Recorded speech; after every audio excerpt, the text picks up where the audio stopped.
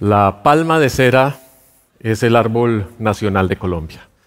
Es una especie endémica, una especie muy amenazada y durante los últimos años ha tenido mucha atención por parte de los conservacionistas, dentro de los cuales me encuentro.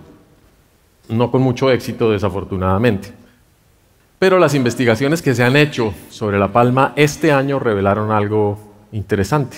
Algunos ejemplares son transexuales. Y les aseguro que no tuve nada que ver con ello. El cambio de sexo y de género se ha reportado regularmente en la ciencia, cada vez más. Sin embargo, mucha gente utiliza el argumento de la falta de naturalidad en la comunidad LGBT para cuestionar y criticar su existencia incluso. En muchos casos eso redunda en violencia y en discriminación hacia las personas LGBT.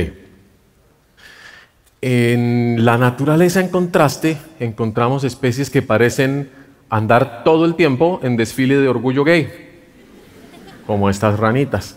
Despliegan una cantidad de colores, de formas, que incluso ponen en riesgo su existencia ante los depredadores.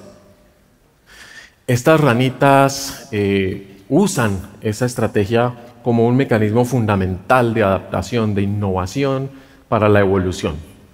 Nos preguntamos entonces si existe alguna relación entre la construcción de identidad sexual y de género entre los seres humanos y con la biodiversidad.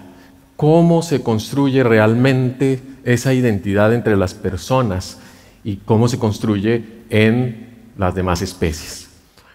Proveniendo de la literatura, la teoría queer nos sugiere que la identidad sexual se construye en la interacción que tienen los personajes que comparten una narración.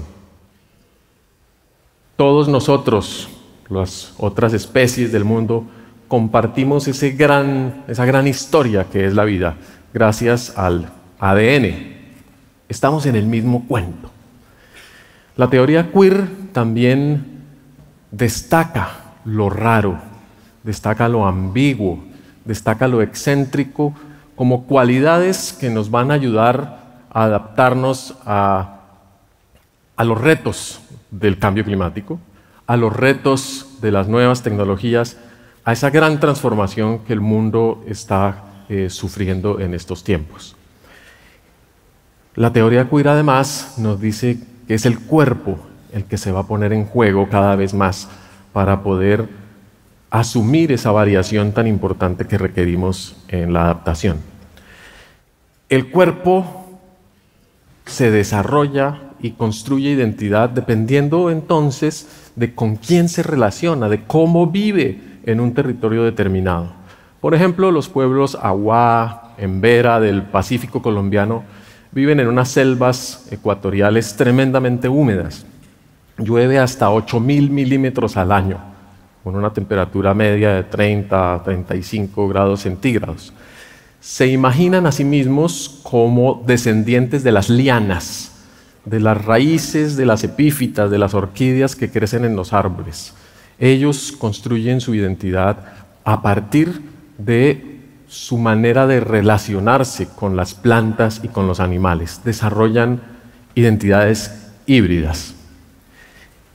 En cambio, nosotros que ya vivimos en una civilización occidental y moderna, optamos por romper nuestros vínculos con esa naturaleza, con esos árboles, con ese bosque, con, esas, con esos animales, y estudiar poner en la distancia esos objetos que la constituyen. Cada vez que acudimos a entender esa relación, fragmentamos el ecosistema en pedacitos y proyectamos sobre esos pedacitos toda la fuerza de nuestra razón, casi que encandilando el objeto, con lo cual indudablemente ganamos precisión, pero perdemos en visión, rompemos la conexión que hay entre todos los seres y construimos una visión distinta a partir de esos pedacitos con los que ensamblamos una colección de museo con los que ensamblamos un catálogo. Por supuesto, los catálogos nos dicen mucho de cómo es el mundo, pero es un mundo que ya no tiene identidad de género, que ya no tiene identidad sexual. Es un catálogo que además se puede reorganizar de acuerdo a muchas lógicas. Cada quien le puede eh, dar sentido a la manera en que se organiza. Puede servir de base para eh, contar historias, también puede servir de base para construir un parque zoológico, para construir un jardín botánico, en fin, también nos ayuda a construir visiones de naturaleza.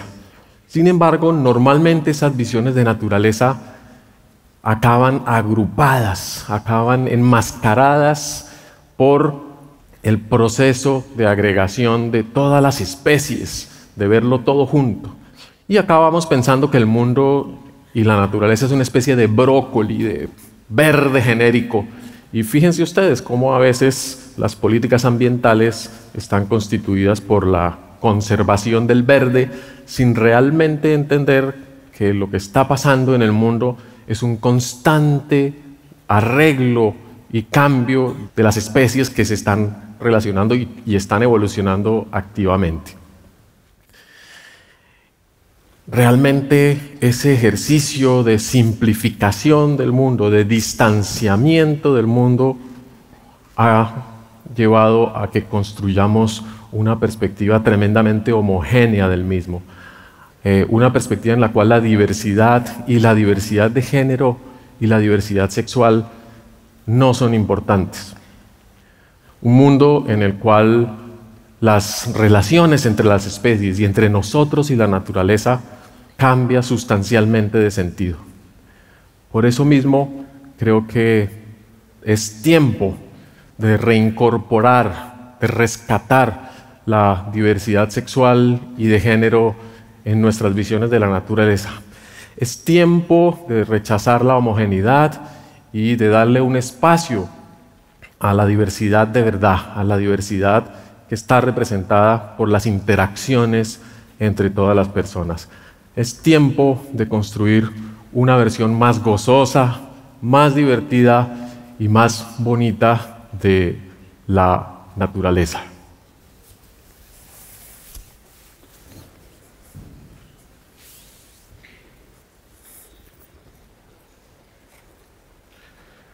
Porque no hay nada más queer que la naturaleza.